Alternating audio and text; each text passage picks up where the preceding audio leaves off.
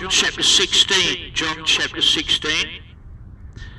These things have I spoken unto you. This is the Lord Jesus Christ speaking to his disciples. These things have I spoken unto you that ye should not be offended. They shall put you out of the synagogues, yea, the time cometh that whosoever killeth you will think that he doeth God's service. And these things will they do unto you because they have not known the Father nor me. But these things have I told you that when the time shall come ye may remember that I told you of them. And these things I said not unto you at the beginning because I was with you. But now I go my way to him that sent me. In other words, he was going to go back to heaven, where he came from. This is the Lord Jesus Christ, having been crucified upon the cross. He, he was going to be crucified upon the cross later on. But he was telling them, look, I've come down from heaven, and I'm going back to heaven to my Father. And he's saying these words, but these things have I told you that when the time... Uh, no, I'll go back to verse 3. And these things will they do unto you because they have not the Father nor me. But these things have I told you that when the time shall come, you may remember that I told you of them, and these things I said not unto you at the beginning, because I was with you. But now I go my way to him that sent me, and none of you asketh me, Whither goest thou? In other words, where art thou going? But because I have said these things unto you, sorrow hath filled your heart. Nevertheless, I tell you the truth, it is expedient for you that I go away. For if I go not away, the Comforter will not come unto you, but if I depart, I will send him unto you. And when he is come, he will reprove the world of sin and of righteousness and of judgment sin because they believe not on me. Do you realize the worst sin you could ever commit is not believing on the Lord Jesus Christ? He's the one that wants to save you this hour, my friend. Why don't you come to him? I don't know how many times you've heard this message of salvation before, but you need to respond to the call of God. You know, the Lord Jesus Christ said, Come unto me, all you that labour and are heavy laden, and I will give you rest. Take my yoke upon you and learn of me. For I am meek and lowly in heart, and you shall find rest unto your souls. My yoke is easy, and my burden is light. Yet sin, righteousness, and judgment.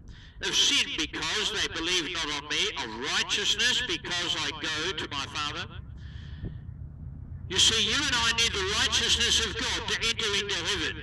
We cannot be in heaven apart from the righteousness of God being given unto us through faith in the Lord Jesus Christ. You need to come to Christ this hour, my friend. If you are not come to Christ, your soul will never ever be saved. God is not willing that any should perish, but that all should come to repentance. Yes, uh, righteousness because I go to my Father and ye see me no more. Of judgment because the prince of this world is cast out.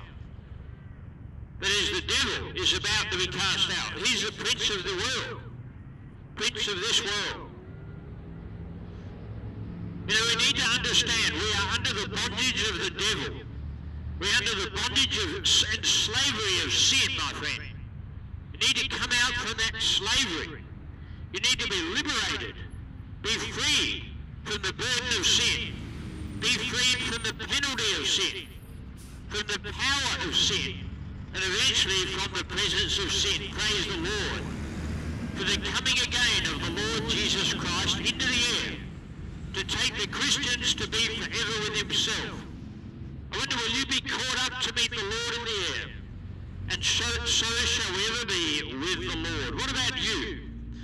Will you be left behind to go through the tribulation period upon this earth? The seven-year tribulation period, the last three and a half years, is called the Great Tribulation. There's no need to go into that terrible time of judgment and also be cast into hell on the lake of fire. You see, there's coming a time when we die. And at the moment of death, we're either going to be in heaven through faith in Christ, or we're going to be down in hell. And then eventually, if we don't believe on the Lord Jesus Christ, you will be cast into the lake of fire and brimstone, or fire and sulfur, where there's weeping and gnashing of teeth for all of eternity. Why? Because you have rejected the Son of God. Have you rejected the Son of God up to this point in your life? You need to come to Christ, just got a nod from a fellow over here driving past. He's obviously rejected the Son of God into the, unto this time of his life. But he needs to come to Christ the same as you do. You need to put your faith in the Lord Jesus Christ, my friend, and become a child of God to have forgiveness for your sins through faith in the Lord Jesus Christ, who loved us enough to die upon the cross. He was crucified for you and for me. In whom we have redemption, through his blood even, the forgiveness of sins. I have yet many things to say unto you, but ye cannot bear them now. Howbeit, when he, the Spirit of truth, is come, he will guide you into all truth, for he shall not speak of himself, but whatsoever he shall hear, that shall he speak. And he will show you things to come. He shall glorify me, that is the Holy Spirit, shall glorify me. For he shall receive of mine and shall show it unto you. All things that the Father hath are mine, and therefore said I that he shall take of mine and shall show it unto you. A little while, and ye shall not see me. And again, a little while, and ye shall see me, because I go to the Father. Then said some of his disciples among themselves, What is this that he saith unto us? A little while, and ye shall not see me. And again, a little while, and ye shall see me. And because I go to the Father. They said, therefore, What is this that he saith? A little while, we cannot tell what he saith. Now Jesus knew that they were desirous to ask him, and said unto them, Do ye inquire among yourselves of that I said, A little while, and ye shall not see me? And again, a little while, and ye shall see me? Verily, verily, or truly, truly, I say unto you, that ye shall weep and lament, but the world shall rejoice. And ye shall be sorrowful, but your sorrow shall be turned into joy. A woman, when she is in travail, hath sorrow because her hour is come. In other words, when she has labour pains for uh, delivering a child. But as soon as she is delivered of the child, she remembereth no more the anguish for joy that a man is born into the world. And ye now therefore have sorrow, but I will see you again, and your heart shall rejoice, and your joy no man taketh from you. And in that day you shall ask me nothing. Verily, verily, I say unto you, whatsoever you shall ask the Father in my name, he will give it you. Hitherto have ye asked nothing in my name. Ask, and ye shall receive, that your joy may be full. These things have I spoken unto you in Proverbs, but the time cometh when I shall no more speak unto you in Proverbs, but I shall show you plainly of the Father. That day you shall ask in my name, and I say not unto you that I will pray the Father for you, for the Father himself loveth you, because ye have loved me, and have believed that, I came out from God. I came forth from the Father and am come into the world. In other words, he's left heaven's glory, came down to this sin-cursed earth. Again, I leave the world and go to the Father. So after the crucifixion of Christ, he was going to return back to his Father in heaven, from whence he came, from where he came. His disciples said unto him, Lo, now speakest thou plainly, and speakest no proverbs. Now we are sure that thou knowest all things, and needest not that any man should ask thee. By this we believe that thou camest forth from God. Jesus answered them, Do ye now believe? Behold, the hour cometh, yea, is now come, that ye shall be scattered, every man to his own, and shall leave me alone. That is, at the time of his crucifixion, his betrayal and his crucifixion. And yet I am not alone, because the Father is with me. These things I have spoken unto you, that in me you might have peace. In the world you shall have tribulation, but be of good cheer, I have overcome the world. And the Lord Jesus Christ is really the only one who did overcome the world. Why? Because he's God. God manifest in the flesh. God in a body. God came down, left heaven's glory, to come down to this sin-cursed earth and live the perfect life upon earth that you and I could never ever live.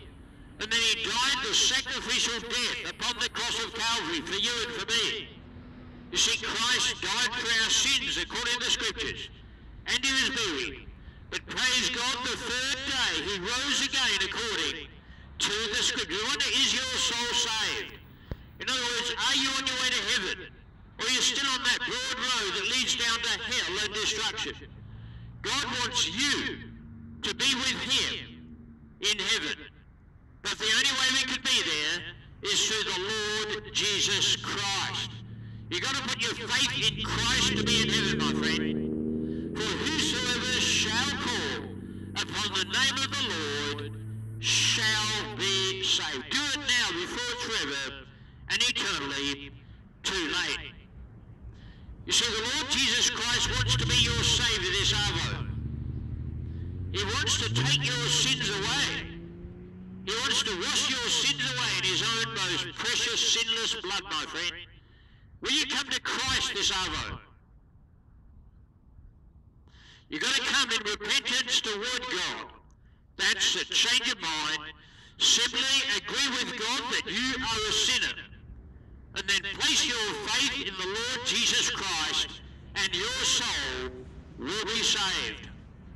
For the wages of sin is death, but the gift of God is eternal life through Jesus Christ our Lord. Do you have that peace? That eternal peace that can only come through faith in our Lord and Saviour, Jesus Christ. Make a wise choice this hour, my friend. Get right with God by faith in the Lord Jesus Christ. If you're interested in this, look me up, youtube.com forward slash peace by Jesus Christ. God bless you. Thanks for listening. Have a great day.